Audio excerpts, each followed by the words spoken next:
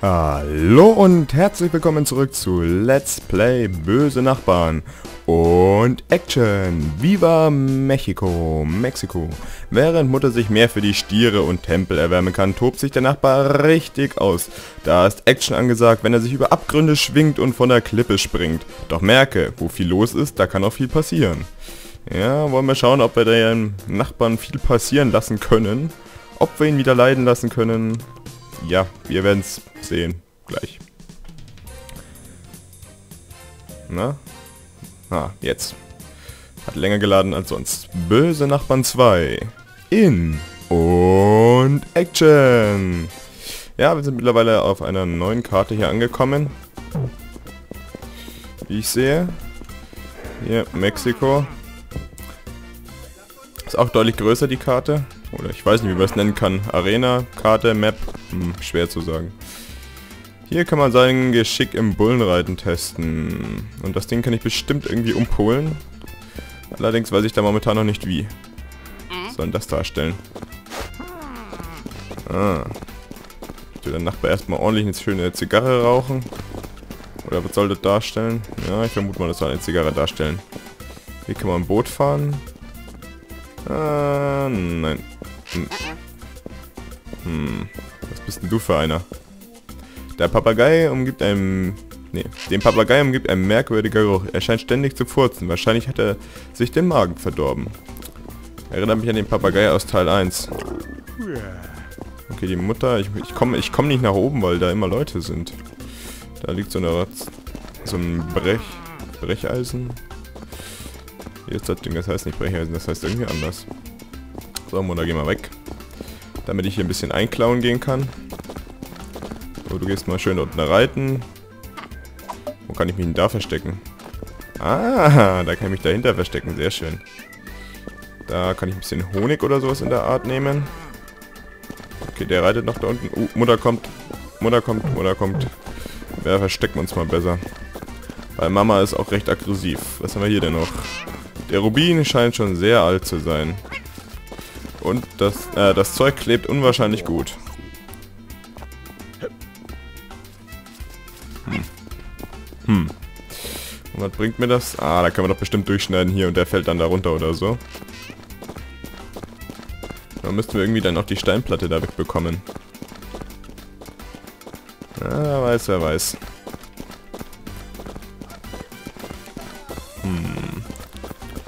Oben hat so Augen, da können wir vielleicht die Rubine reinsetzen oder so. Das sieht vielleicht sieht so aus, als könnte man ihn da reinsetzen, ich weiß es nicht. Mittlerweile ist das Spiel für mich auch so gut wie blind, weil ich mich überhaupt nicht mehr daran erinnere. Hier können wir vielleicht was machen. Mit diesem Farbtopf können wir vielleicht die Bank anmalen oder so, wo sie mal drauf sitzen. Schauen wir mal, ob das klappt. Jetzt probiere ich erstmal mit den rostigen Dolch das Ding da durchzuschneiden. Wenn der Herr Nachbar mal wieder weg sein, weg ist. Na komm, geh rüber.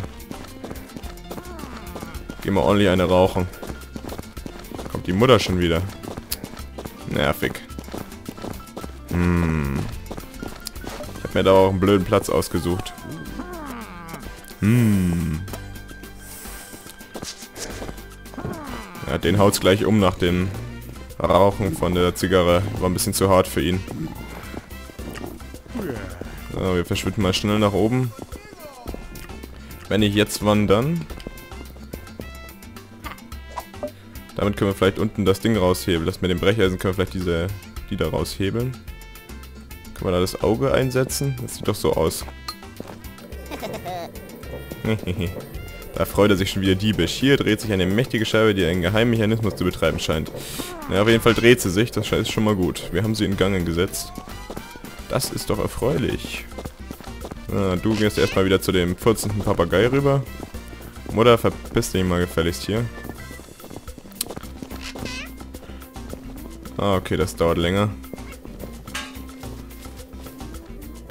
Da muss ich etwas länger hebeln, damit das funktioniert. Ah, blöden Minigames, Minispiele, ich hasse sie. Vor allem, wenn man nicht mit seiner Maus umgehen kann. Nein, jetzt werde ich auch noch erwischt. Scheiße, vielleicht schaffe ich es wenigstens noch. Ja, ich habe es wenigstens geschafft. Ja, ja, ja, bla bla bla. Hau mich bitte nicht nach oben. Danke. So, wir benutzen mal die Münze mit dem Viech da. Ah, ich glaube, da oben passiert jetzt was Schönes. Naja, das sieht irgendwie nicht gut aus mit dem Mechanismus. Oh, oh. Sehr schön. Hm, wir haben einen zweiten Rubin gefunden. Wo war denn der? Ach, der war da in der Kiste drin. Ich würde sagen, den bauen wir dann auch mal so schnell wie es geht in das Auge ein. Wo willst du hingehen? Na, ihr seid da oben noch beschäftigt, das ist gut. Oh, fällt er runter? Fällt er runter? Ne, er fällt nicht rein, schade. Ah, das Boot ist weg. Jetzt kann er schon mal... er springt auf das Boot drauf. Aua. Aua, aua, das sieht schmerzhaft aus. Komm, Frau Muddern. Kann, ich nochmal die Todesspalt untersuchen? Ist da noch irgendwas, was ich übersehen habe? Ne, ist da ist nichts mehr. Und wie sieht es hier aus? Die Klinge des Dolches ist nicht scharf genug. Warte mal, die könnte ich da oben doch schärfen an dem Ding. Wenn ich den Rubin da wieder einsetze. Das könnte doch funktionieren, oder?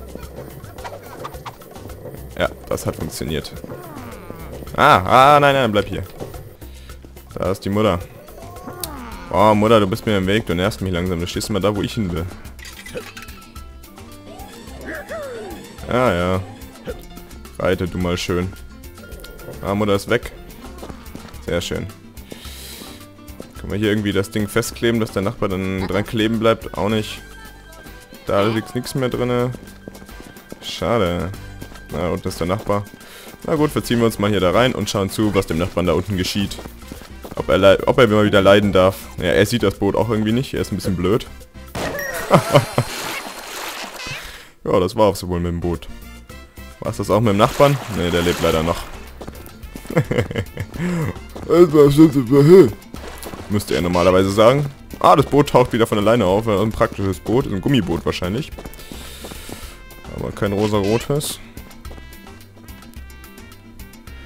Nein. So. Ach, da unten ist der zweite. Ah, wir können sogar beide einsetzen. Ah, verdammt. Habe ich es wieder übersehen, das tut mir natürlich leid. War ich mal wieder zu blöd. Na komm. Er kriegt immer nur so ein bisschen Angst. Er erschreckt sich immer nur so ein bisschen, aber ich glaube, wir müssen die beide einsetzen, dann passiert vielleicht noch was Tolleres. Na komm, jetzt geh weiter. Leider ein Nachbar. Nun hat er Dolch wieder eine scharfe Klinge. Äh. Ja, ja, um, um, da, um, da, um.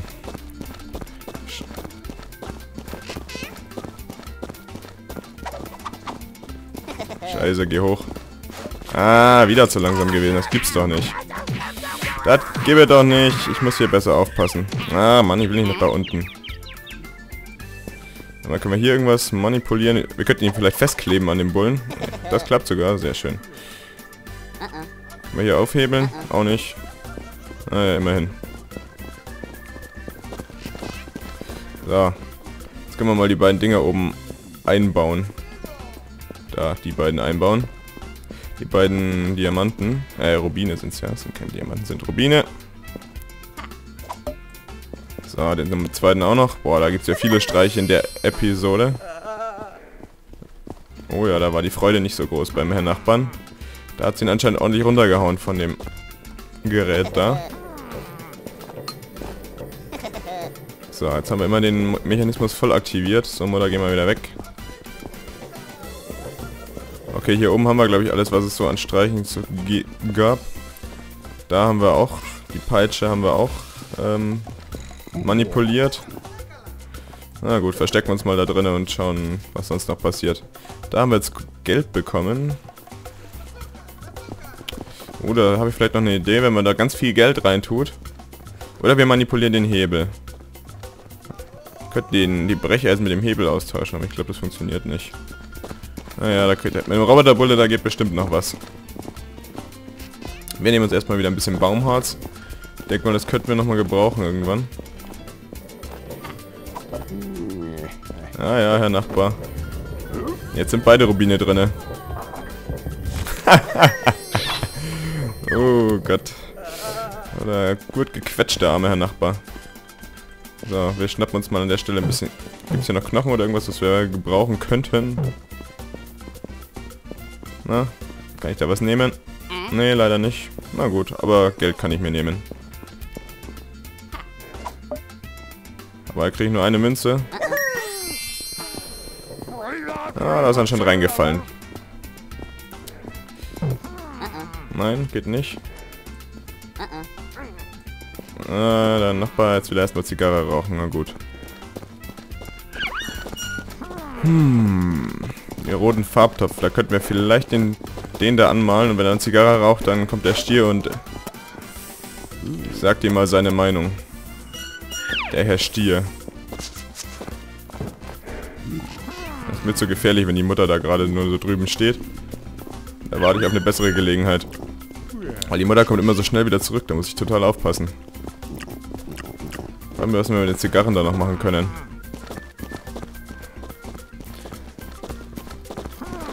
Hm, hm. Die Mutter macht immer so komische Geräusche. Naja, Herr Nachbar, ich bin nicht weit weg.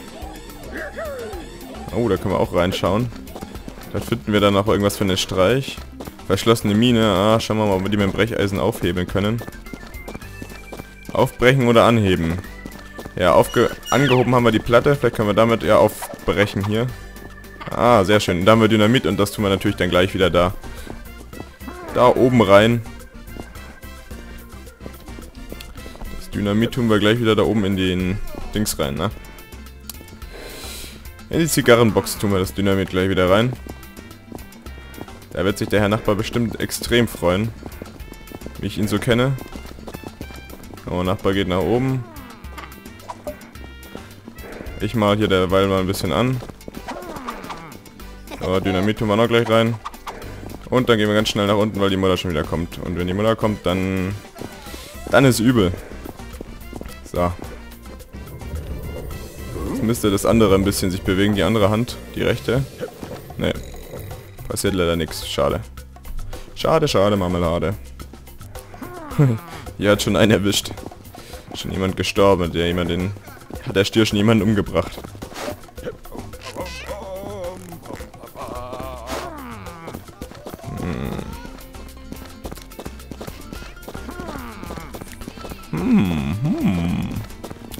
Kein Grund hier so hm, hm rum zum hm. Ja, da ist auch sehr unauffällig, sich da drauf zu legen. Beziehungsweise ist sehr unauffällig, das Ding. Sieht man auch überhaupt nicht, dass der da was angemalt wurde. Naja, was soll's. Na? Ah, jetzt, jetzt sieht der Stier ihn. Ja. Ja, da ist die Freude mal wieder groß. Wobei der Stier ja eigentlich gar nicht auf rote Farbe reagiert, weil die Stiere ja eigentlich nur, also beim Torero und so, da reagieren die Stiere ja eigentlich nur... Den habe ich nicht gesehen, den Maiskolben. Da reagieren die Stiere ja eigentlich nur auf das sich bewegende Tuch und nicht auf die rote Farbe. Also ein Stier ist, glaube ich, sogar farbenblind, wenn ich mich nicht recht täusche. Ja, so. Eine Runde Wissen mit Drachi heute. so, weiter geht's. Muss irgendwie an den Maiskolben da oben kommen. Den können wir irgendwie den Papagei geben, glaube ich. Und das ist dann der letzte Streich. Würde ich jedenfalls vermuten. Mit meiner genialen Kombinationsgabe hier. Aber dazu muss ich erstmal wieder hochkommen. Und das kann ein bisschen dauern, weil der Nachbar ist ja da gerade noch ein bisschen beschäftigt. Ah,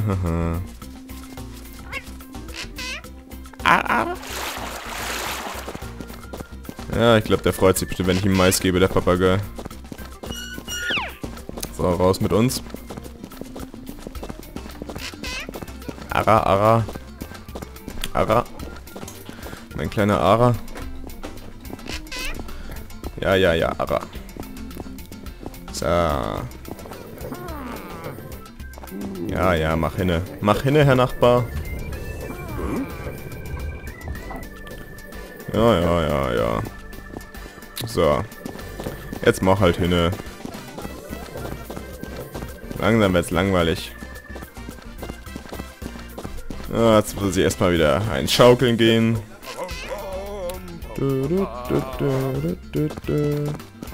Ja. Ich singe mal besser nicht mit. Aber die Musik ist echt schön. Ja, das ist mir zu gefährlich, wenn die Mutter da gerade kommt. Das könnte sonst schnell mein Ende sein. Die Mama da steht. Die ist nämlich durchaus gefährlich, die Mutter. Die hat eine harte Rechte. War auch der Stärkste im Knast. So, auf nach oben wieder. Hoch mit uns. Du fauler Woody, du. So. Hey. Runter mit dir. Schneiden wir hier nochmal durch. Den Streich haben wir ja vorhin nicht gesehen, weil ich zu langsam war. Dann sehen wir wenigstens den Streich nochmal. Nicht, dass ihr sagt, ich, ihr hättet einen Streich verpasst bei mir, weil ich wieder die Streiche-Cam ausgeschaltet habe. So. Hm. Was wird das da unten, Herr Nachbar? Machen Sie mal hin, bitte. Meine Geduld hat Grenzen. Uah. Hm. Komm, mach hin, Nachbar. Mach mal hin. Ja, jetzt kommt die Mutter wieder. Sonst hätte ich jetzt, wenn der Nachbar oben auf dem Ding drauf gesessen wäre, hätte ich ja... Hätte ich mal schnell runterrennen können, aber leider kam jetzt genau in dem Moment die Mutter wieder. Ärgerlich, aber nicht zu ändern. Ja,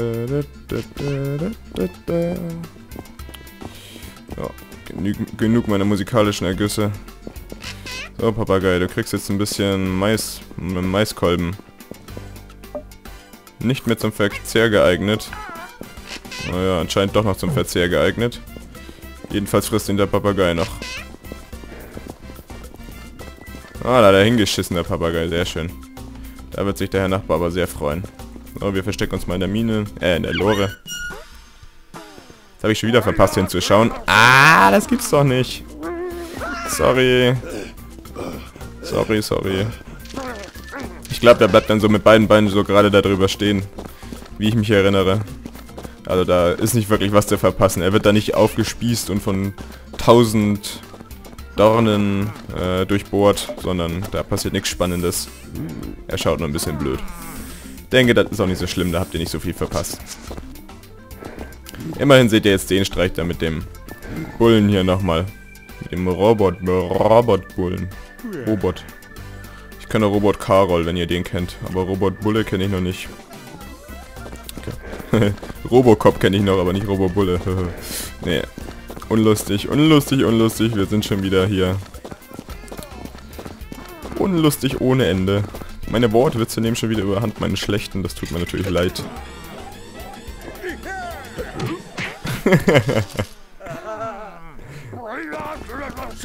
oh was, kein Grund, kein Grund sauer zu werden, Herr Nachbar.